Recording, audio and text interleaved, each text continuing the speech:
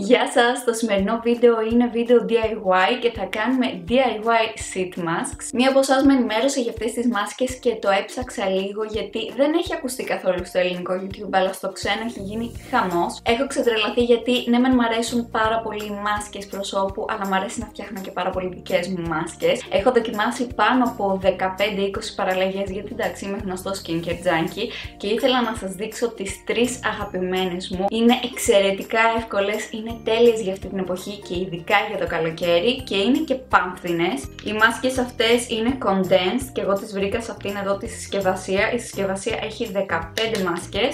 Μπορείτε να πάρετε και περισσότερες, αλλά εγώ είχα πάρει σε συσκευασία των 15 και αυτό κοστίζει 1 ευρώ και κάτι νομίζω, οπότε είναι πάμφθινες. Και αυτές οι μάσκες πώς χρησιμοποιούνται, τις βάζετε σε κάποιο υγρό και είναι αυτό που θα κάνουμε εμείς σήμερα και αυτές ανοίγουν και γίνονται οι γνωστές sheet mask και έχουν αυτά τα συστατικά που τους έχετε βάλει μέσα και όλες τις τέλειες ιδιότητες των συστατικών αυτών. Η πρώτη μάσκα είναι με πράσινο τσάι. Βάζετε μία μάσκα σε μία με δύο κουταλιές της σούπας από το τσάι σας και περιμένετε μέχρι να ανοίξει τελείως η μάσκα και να απορροφήσει το υγρό. Αφήνετε τη μάσκα 10 με 15 λεπτά στο πρόσωπό σας και αφού την αφαιρέσετε ταμπονάρετε πολύ απαλά με ένα χαρτομάντιλο. Το πράσινο τσάι είναι αντισηπτικό, αντιοξυδοτικό και είναι και αρκετά ενυδατικό. Έχει και αντιγυρετικές ιδιότητες οπότε μπορείτε να το χρησιμοποιείτε όσο μεγαλώνετε για να διατηρήσετε το δέρμα σας σε υπέροχη κατάσταση. Η επόμενη μάσκα είναι μια μάσκα με αγκούρι και εγώ τη φτιάχνω ως εξής. Παίρνω το αγκούρι και το τρίβω, περίπου μισό αγκουράκι και είμαι ok.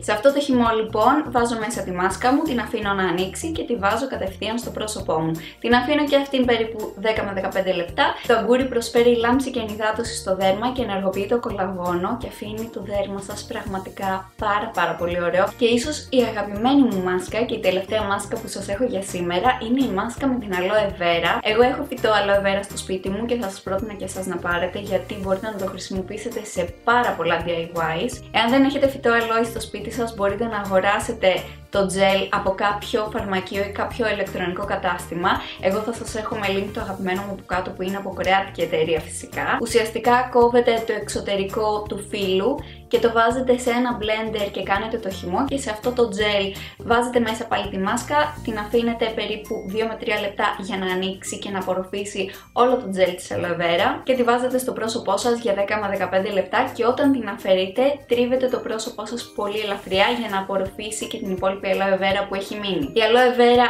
έχει ενυδατικές ιδιότητες και φυσικά βοηθάει πάρα πολύ με το έγκαυμα από τον ήλιο οπότε είναι τέλειο για μετά την παραλία. Επίσης η aloe vera είναι μια φανταστική βάση για μάσκες και αυτό σημαίνει ότι μπορούμε να βάλουμε και άλλα συστατικά μέσα στη μάσκα μας και αυτά θα βοηθηθούν πάρα πολύ από την aloe vera και εγώ συνήθως βάζω τα αγαπημένα μου serum μέσα σε αυτή τη μάσκα δηλαδή βάζω το αγαπημένο μου μπαφέ που είναι από την The Ordinary και κάνει τη μάσκα καταπληκτική αυτές ήταν οι αγαπημένες μου DIY sheet masks αν τις δοκιμάσετε πείτε μου κάτω στα σχόλια πώς σας φάνηκαν φυσικά αν δοκιμάσετε και άλλους συνδυασμούς με άλλα συστατικά και αυτό πείτε εδώ μου στα σχόλια γιατί θέλω να πάρω ιδέες και να δοκιμάζω καινούργια πράγματα συνέχεια. Εάν σας άρεσε αυτό το βίντεο πατήστε like, κάντε subscribe στο κανάλι μου για να βλέπετε καινούργια βίντεο. Ανεβάζω βίντεο κάθε Τρίτη και κάθε Σάββατο. Κάντε με ένα follow στο Instagram και στο Facebook για να ενημερώνεστε και για άλλα περισσότερα πράγματα.